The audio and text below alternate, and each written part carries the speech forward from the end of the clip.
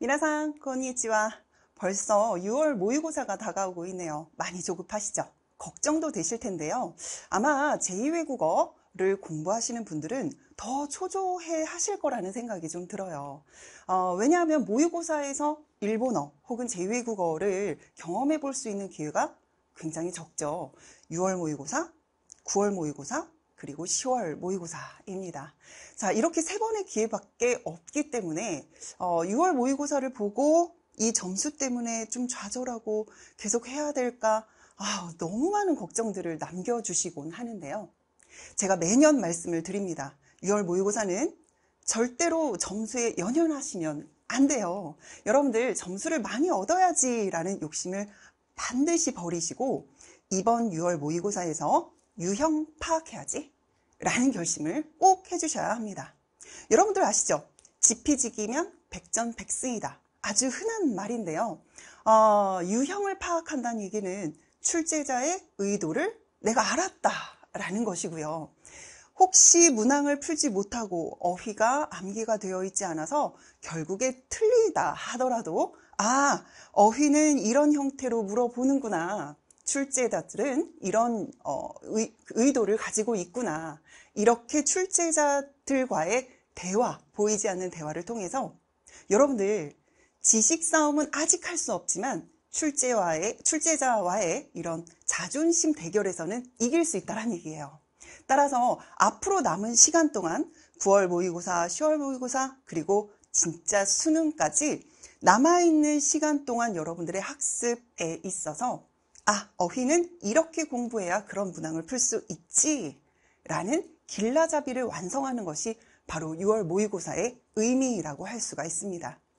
자, 그러면 지금부터 차근차근 설명을 좀 드려보도록 할게요. 아까 강조했었던 일본어의 여러 가지 문항들도 여러 파트로 나뉘어져 있는데 그 파트별 유형이 보통 어떻게 구성이 되고 어떤 형태로 질문을 하는지 제가 조금 후에 설명을 드리도록 할게요.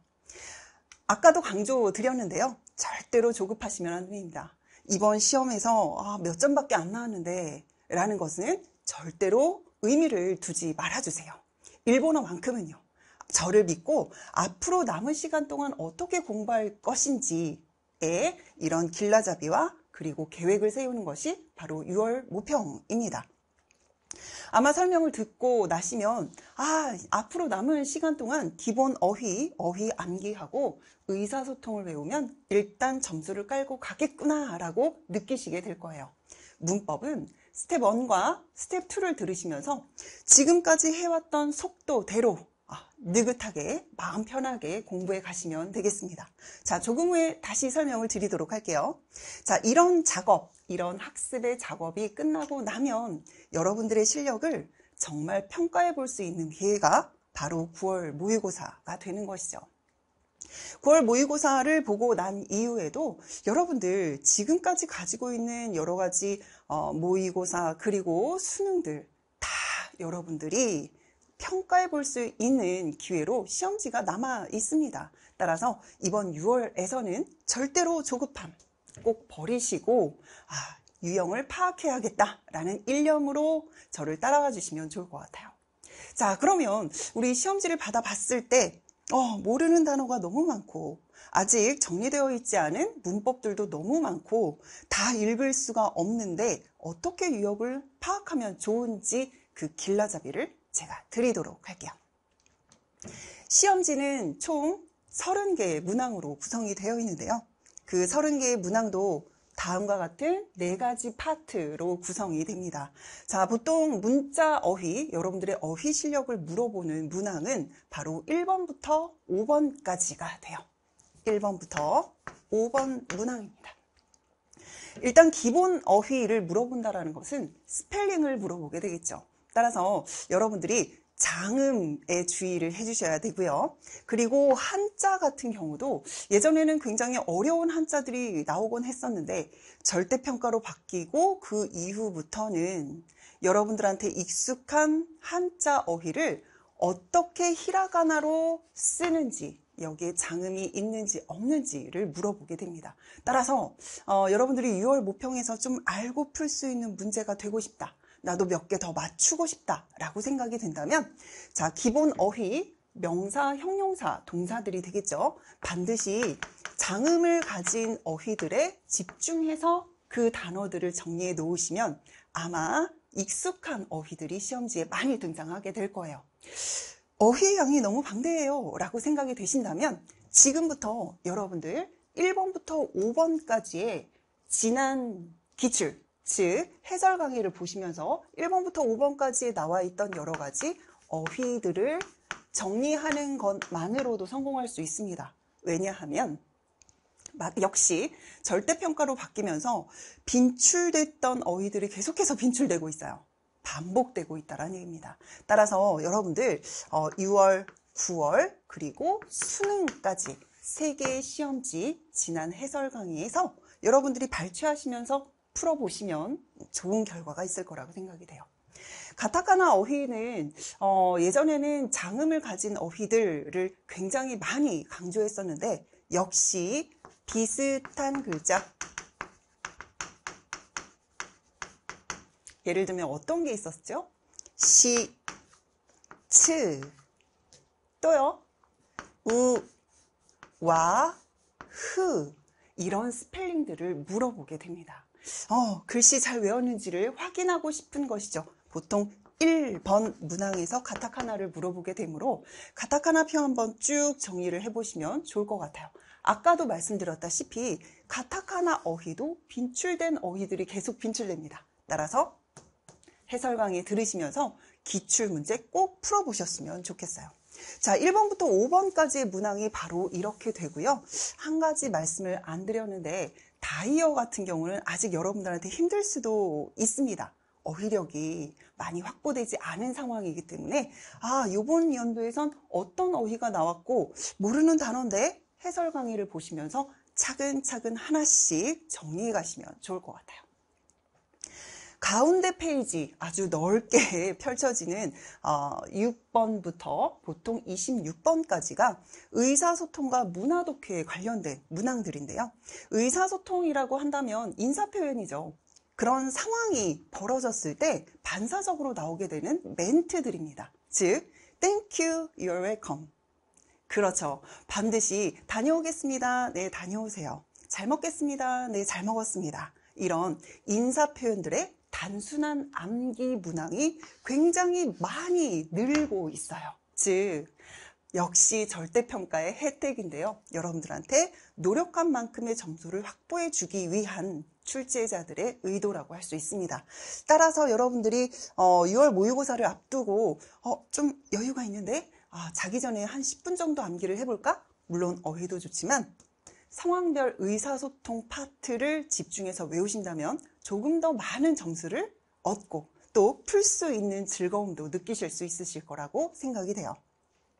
제 교재에 140페이지부터 상황별 의사소통이 정리되어 있으니 달달달달 외워보는 것도 어, 즐거울 것 같습니다.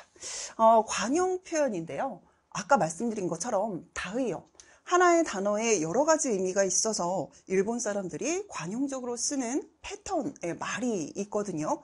역시 우리에겐 아직은 아직은 조금 힘들 수 있습니다. 따라서 나중에 해설 강의를 보시면서 하나씩 하나씩 정리해 나가시면 좋을 것 같아요. 문화 독해입니다. 좀 글이 길다 보니 허걱 하고 안 풀까? 라고 포기해버리는 그런 문항들이에요. 그런데 정해진 시간 안에 이 긴 글을 읽고 지문을 통해서 어, 정답을 얻을 수 있도록 그 길고 긴 문항은 되도록 쉬운 단어들, 쉬운 표현으로 구성이 되고 있어요. 그리고 우리가 어, 보통 일본의 문화에 대해서 많이 어, 공부를 하잖아요. 뭐 젓가락으로 밥을 먹고 혹은 어떤 옷을 입는지 등등 그런 문화 상식을 기본으로 한 그런 독해 문항이 늘고 있습니다. 따라서 독해 같은 경우는 여러분들 눈으로 보고 긴장하지 마시고 긴 글에서 아는 단어의 밑줄을 그어봐 주세요.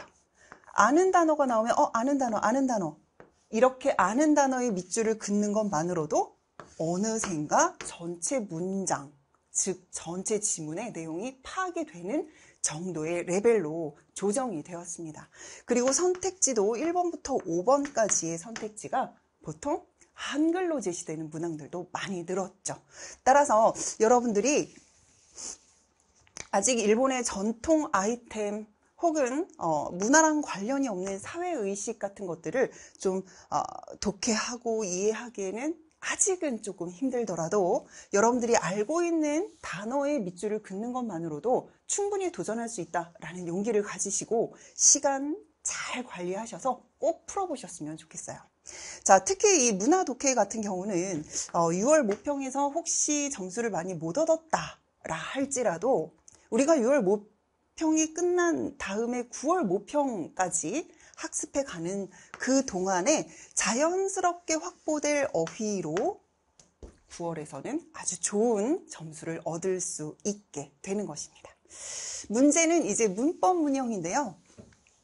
우리가 아직 5월 어, 달이죠. 아직 6월 어, 모의고사 보기 전이니까 그래서 문법이 아직 많이 확보되지 않은 상태예요. 따라서 아까 말씀드렸던 27번부터 30번까지의 문항이 굉장히 버거우실 겁니다. 어, 이런 게 있었나? 나는 조사에 대해서 공부했지만 조사의 용법, 니라는 용법에 여섯 가지나 아, 용법이 있었어? 라는 것들 때문에 아마 해설 강의를 보시면서 조금 긴장을 하실 텐데요. 역시 앞으로 우리가 공부해 가면서 하나씩 정리를 해야겠죠. 하지만 이 문법 문형에서도 여러분들 반드시 기억하고 계셔야 되는 것. 유형 파악입니다. 아, 새 품사라고 하면 동사, 이형용사, 나형용사죠.